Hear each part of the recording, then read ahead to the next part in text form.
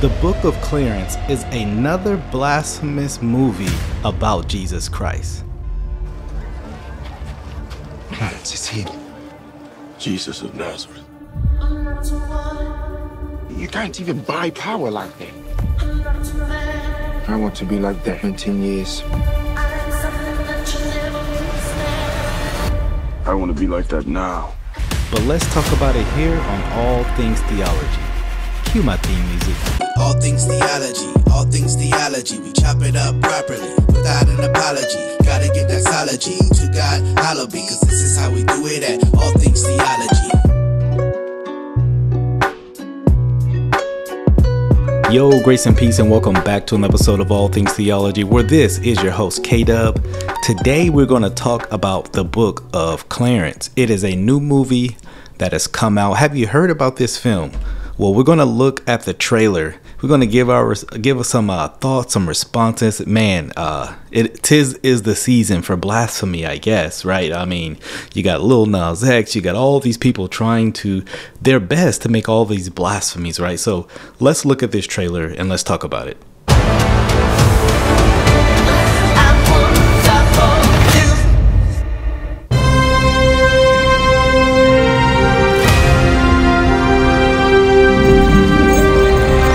Clarence. I'm not a man without faults. I played the cards I was dealt. Clarence.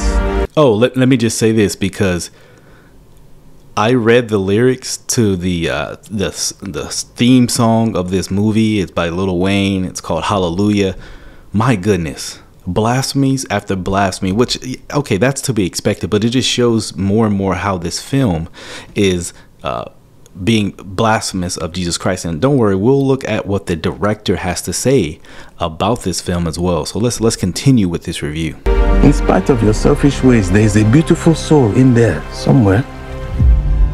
Bad anthropology. Clarence, it's him. Jesus of Nazareth. You can't. So uh, Clarence meets Jesus, right? So let's see what his first impression of Jesus is once he meets him. even buy power like that. I want to be like that in 10 years. I want to be like that now. So, right, he wants to he wants to be like Jesus after he he sees kind of his um his uh, majesticness, his uh, popularity, um, even his uh, miracles, and we're going to see kind of how this kind of comes about. But one thing that reminded me of this when I saw this uh, um, trailer was Simon the Sorcerer. Don't worry, we'll speak about that more in a second, but just keep that in mind. Simon the Sorcerer. Knowledge is stronger than belief. And if you can see that right there, you have Sean Carter, aka Jay Z, as one of the producers, which just lets you know how blasphemous this, right? He, he has no respect for Christ, right? Even calling himself Je- Jehovah, Je- Jehovah, right? Uh, so just interesting, interesting stuff. Clarence, he needs miracles. I have a plan. I can see! I can see! So you have uh, the the man right there that gets healed, saying, "Hey, you need you, you need you need miracles, right? How are you gonna you know uh, get some credibility if you don't have miracles?" Well, and then Clarence responds back, "I have a plan," and so they have him kind of do this miracle, right, where he pretends to be blind. Uh, it's, it's a fake miracle right here, right? So, but this is how he gets his his start, doing a fake miracle uh, that the trailer depicts uh, to gain uh, popularity.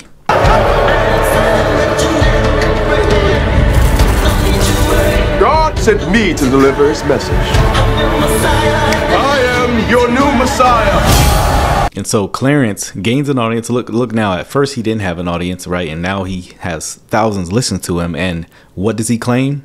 To be the new, new Messiah, right? To be a new Messiah.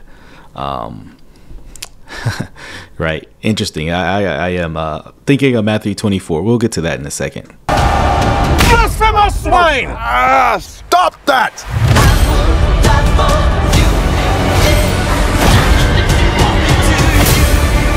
Your God is a myth! See for yourselves, there is no Messiah. Clarence, if you'll be so kind to walk on water. And so Clarence is depicting here as walking on water, right? Imitating all Christ's uh, miracles or many of Christ's miracles, right? He he's a he, he's a uh, he's a copycat, right, of Jesus of Nazareth, right? Damn.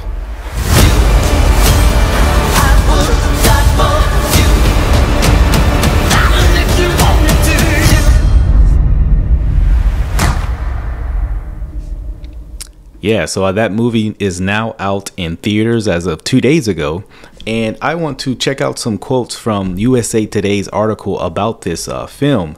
Uh, it, it depicts this movie as a um, right a different sort of Bible story with this title character turning false prophet in the time of Jesus Christ to make a buck.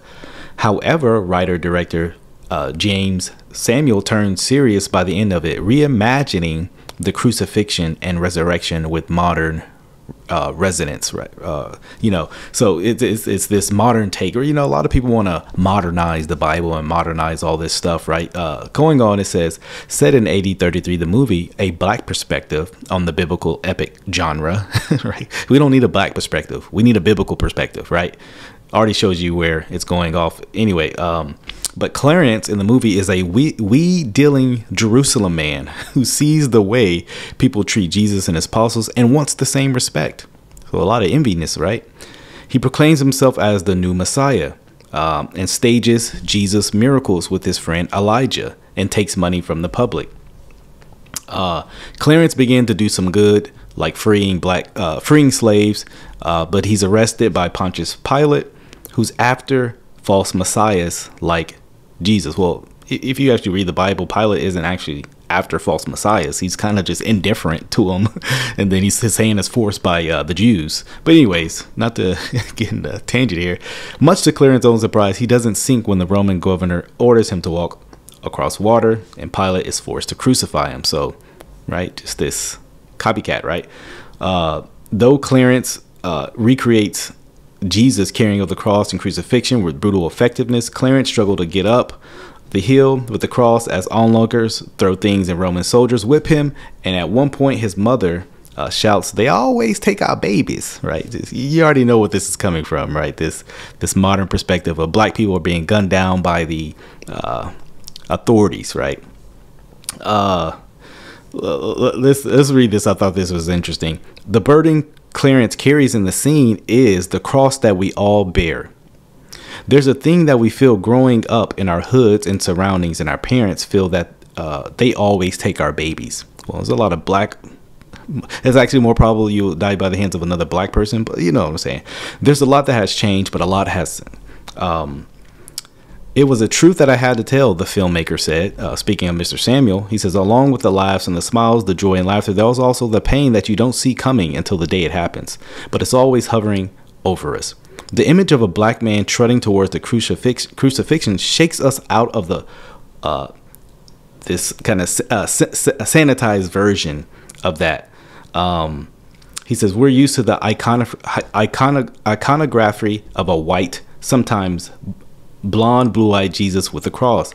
Having it so far outside of what we have previously uh, seen mean you're suddenly able to engage with that in a different way. You know, here's my perspective. I don't think we should be trying to re, re uh, uh, depict Jesus as any image, white, black, brown, Chinese. I, I, I don't care. I don't want to see any images of these. I, that, that's my perspective on this.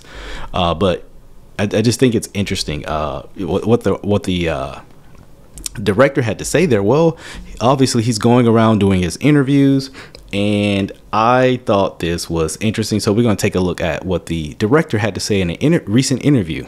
I would say this. Matthew 24 5, Jesus says, Oh, so people are accusing him of, um, hey, this film is very blasphemous, right? Obviously, right? You don't have to be a biblical scholar to see yeah, someone claiming to be the new Messiah and trying to depict themselves as the Christ. Yeah, that's I mean that's literally blasphemy. And so he comes on here. They, they I guess he's asked this question. Uh, of course, it's in Atlanta. He should have known. Atlanta must be stopped. But uh, he's asked this question, and this is his response. I would say this Matthew 24 5. Jesus says, Many will come and saying they are the Christ, and they would lead many astray. Jesus said that himself. It only takes a Google search to see that in Jesus' 33 years of life, there was two to three hundred people in his lifetime saying they are the Messiah. The Bible speaks of Simon the sorcerer. Like, does anyone actually read the book they profess to know so much about? Yeah, but Clarence is depicted as this hero. Obviously, those texts you read are a negative thing. So, uh, you know, I left there listening like, so you're admitting Clarence is a false prophet to black people? Like, you know, you think of Simon the sorcerer, yeah. He was told that he may he perish, right? For for design for desiring to buy the power of God with money, right? Yeah, Simon the sorcerer is not a hero. These false Christs and false prophets that lead people astray are not heroes. So, but Clarence is depicted as a hero. So I, to to make this correlate and this parallel, even uh, par- yeah, the parallel, it's this correlation and parallel uh, doesn't follow. So he's he's berating us. Well, does anybody read the Bible? I, I know he has the London UK accent, and we're supposed to be a little more intelligent, right, than us, little heathen Americans, right? But the parallel that he just presented doesn't follow from what he's trying to depict in the film, right? This black person who who who rises out of the bottom to the top, right? And we're we're greater than who they say we are, right? Um, it it doesn't follow, sir. Sorry. I, I really need to know. Ask your listeners, what currency did they use in the Bible days? What currency did they use? You see people with, with a dumbfounded face. Yeah, I have a dumbfounded face because what does that have to do with anything about the movie? Or wh- what does that have to do with the question at hand? Yeah, we got a dumbfounded face because that was a dumbfounded. I, I found that answer dumb, you know. Jesus himself spoke about this. Clarence is the book of Clarence is the story of an everyman, a mm-hmm. man that was a disbeliever who goes on a journey of self-discovery. But what does he discover himself as? A Messiah. As a matter of fact, he says he's the new Messiah. So, yeah, what he self discovers him as, himself as is what we would call biblically a false Christ, a false prophet. But you're making that a like a good thing, a hero, someone we should champion. Uh, matter of fact, we're, we're, I mean, the crucifixion is something we need to look at from a black perspective, according to the article there. And redemption, and finds faith. He finds faith. He finds faith by trying to to be the, a Messiah. Like, uh, like you, you see how much he has to like, how much cartwheels and backflips he has to do to try to make this actually orthodox and biblical. The the film is not biblical, you know. It, it's not. For a person to say this film is blasphemy, they haven't watched the film. And if you watch the film, L- let me just say this: you don't have to watch the film. Go watch what you say about the film. Go watch the trailer. It's very clear that Clarence is trying to be depicted as a as a, as a messiah. Um, and right, we're supposed to be looking at this from a black modern perspective. Look, look, look. No, we don't. You know, the biblical perspective is just fine enough. say this film is blasphemy, I have to ask you. I have to ask you why. Is it because the people in the film are depicted of color? Jesus was the first superhero, uh, and I'll, I'll say I don't care if they were Chinese. I don't care what color they are. Unbiblical is unbiblical. And Jesus Christ was not the first superhero. Superheroes are not rooted in historical uh, times. Superheroes, they, they, they have, uh, you know, kryptonites. they got weaknesses. No, Jesus Christ is not a mere superhero. my, my hand on my heart. He's God. Because I'm not being delivered the the films that I want to see, and Jesus depicted in the right way. I had to do it myself. So I would say, you're welcome. Well, no, thank you, sir. You can keep your uh, your congratulatory uh, you know statements to yourself because I'm not I'm not giving you kudos for making a blasphemous film, a a it, you know a, a a movie with bad theology. So hey, you want to see a movie with black people in it? I mean, I don't. That's not the biggest issue about the film. that's not the biggest issue with the movie itself. I don't care if they're again. I don't care if they're black. I don't care if they're white that's not the issue, and that's not an issue I raise Now I have an issue of you looking at into that and kind of uh you know narrating the black ex- experience and perspective into a movie. I would have a problem with that from a white perspective or Asian perspective. You know, you have to you have to weave in these cultural experiences of today and say, well, that's must have been happening two thousand years ago. That's silly and asinine, right?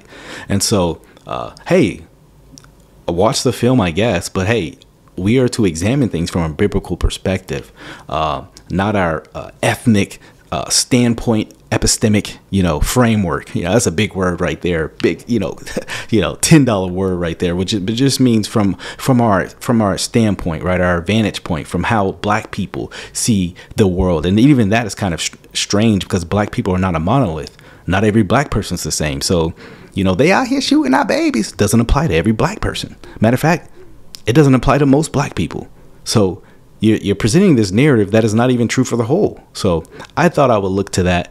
Hope you guys enjoyed this review. Uh, till the next time, grace and peace. Yo, grace and peace. Thank you for watching another episode of All Things Theology. If you enjoyed what you heard today, go on and give me a like. Subscribe to the channel, hit that notification bell I promise to give you weekly lives, videos, interactions exposing false teachers, sharing with you, the viewer, my theological beliefs, things about the culture, and the Bible. So if you're here for that, come on and join us. Also, if you would like to support this channel financially, you can do so by becoming a Patreon member or a YouTube member. Links are in the description below. You can see content before it drops. You can also have Q&A sessions with also other Patreon members, YouTube members as well. So if you would like that, hit the description link in below.